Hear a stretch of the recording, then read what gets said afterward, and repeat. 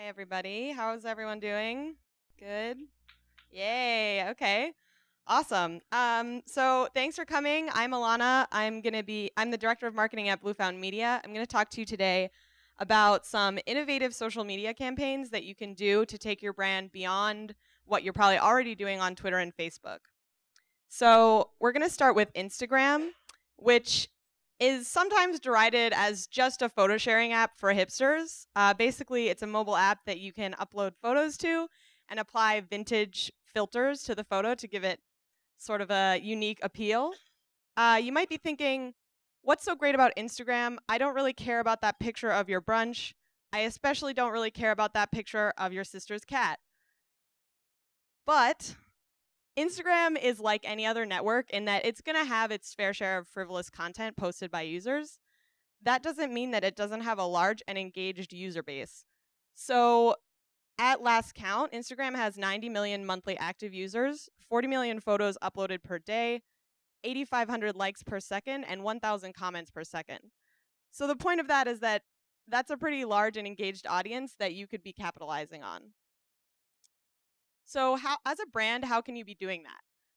What's really important to note about Instagram is that because it's a mobile app and it's about sharing the here and now, what you're doing this second, um, what's going on outside, what's going on around you, any campaign that you run should be very timely. So the example that I use here is from New York Times. Um, they launched this hashtag over the over the weekend during the uh, winter storm Nemo that we had, and they asked people to hashtag NYT storm and share their pictures of uh, of what was going on with the storm around the city. And then they were able to take that content and post it on their website. So they were able to generate some some cool user user submitted photos that they wouldn't have been able to get on their own just by sending out their own photographers. And that brings us to the next point, which is that Instagram is really great for crowdsourcing content if you've ever tried to generate user generated content before, you know that it can be a bit of a challenge. Uh, it's hard to get users to submit that stuff sometimes. Instagram lends itself really nicely to this.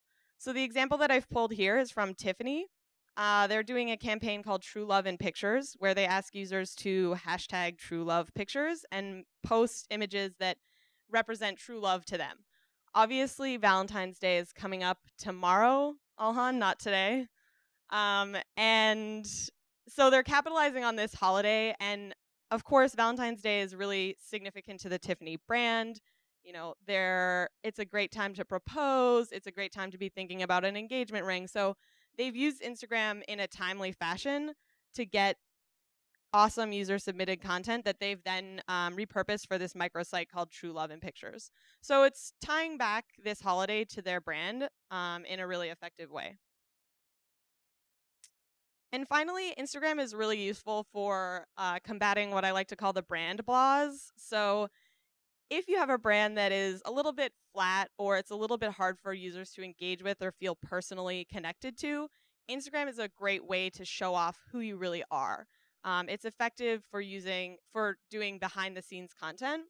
The first example is from Starbucks, which you might not think of as typically a blah brand or a flat brand, but there's a Starbucks on pretty much every corner of every city in this country.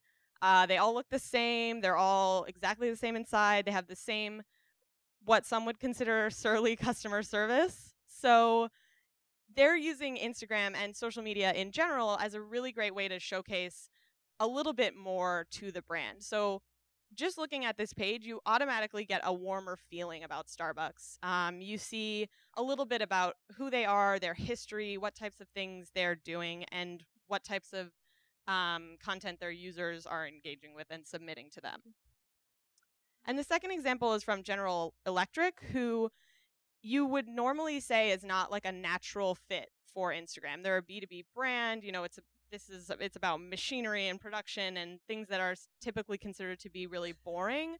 And the reason that I use this example is to show you that it doesn't have to be boring. So um, General Electric is highlighting ground what they say groundbreaking research and technology that they've been involved with since the days of Edison. So they're really telling a story through their Instagram and they're taking these larger than life photographs of jet engines and airplanes and windmills and tying that back to um, sort of everyday American life and how they're integrated with the world around us. So next up is Pinterest, which a colleague of mine referred to on Monday as the A Girl Can Dream social network.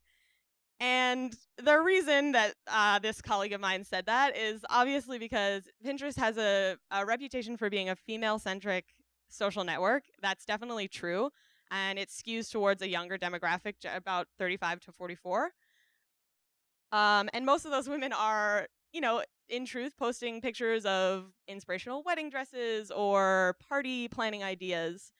But let's not forget that they do have approximately 25 million monthly unique visitors. That's more than Tumblr at this point. So it's a big audience. And knowing the demographics of it, a brand can use that uh, to their advantage. So the first example is from Kotex, who ran this campaign uh, very early on in the days of Pinterest about celebrating the individuality of women on this network. And they did that by picking 50 influential Pinterest users and taking what they actually have put on their pin boards and recreating it in real life and packaging it in a gift box and sending that real gift box, a real tangible product to those 50 women and then asked the women to re- to pin that to their pin boards, which they did in spades.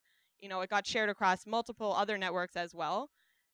And the point to take away from that is that it's not necessarily about you and what you sell. It's about the story that you tell and the way you you are able to connect with your users. So what Kotex did really effectively is get people to talk about a brand that honestly they don't normally talk about. The second example is from Jetsetter, who is doing this Pin Your Way to Paradise campaign, uh, where users go to Facebook to find a clue they then go to the website to find the picture that's related to the clue and pin it to Pinterest. And the reason that I've highlighted this example is to to remind you that of the idea that cross promotion is key. So today we're talking about, you know, Instagram and Pinterest networks that you don't you might not already be using, but it's important to still tie those back to Facebook and Twitter and especially your website because it's all about at the end of the day re engaging with your website, and Jetsetter has done that really nicely with this campaign. And finally, I wanted to highlight this example from Arby's because Arby's is obviously a fast food brand. They're not somebody who you might typically expect to be on Pinterest and be doing well, but they've created really excellent visual content. Uh, this is just an example of their Fresh Thoughts pinboard where they have funny, you know, sayings and thoughts that they share. And again, the idea here is that your brand doesn't have to be sexy, quote unquote, to succeed on one of these visual networks.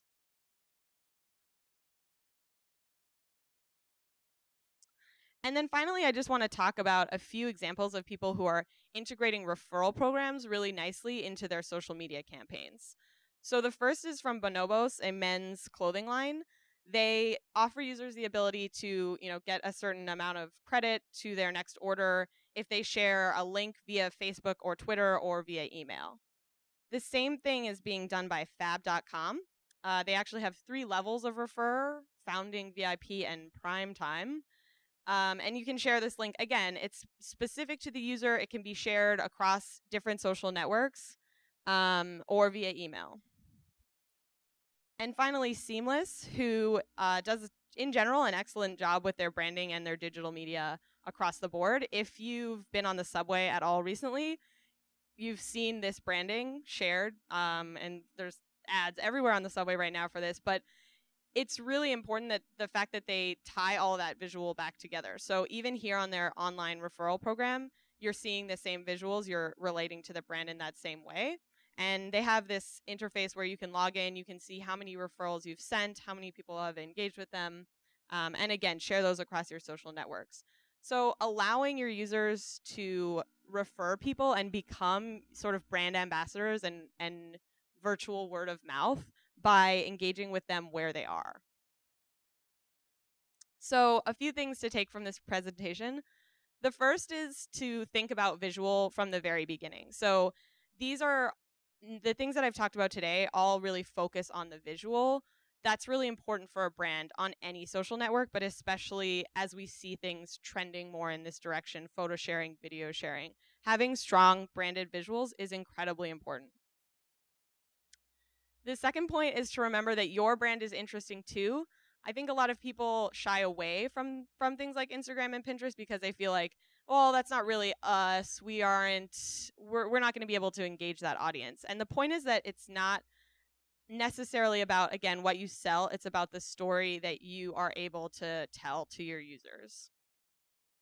And then finally, innovating by integrating. So continuing to make sure that all of your social media is um, is integrated across the board and that you are as i showed with the referrals you are um, tying all of that back together and allowing users to engage with you there as well.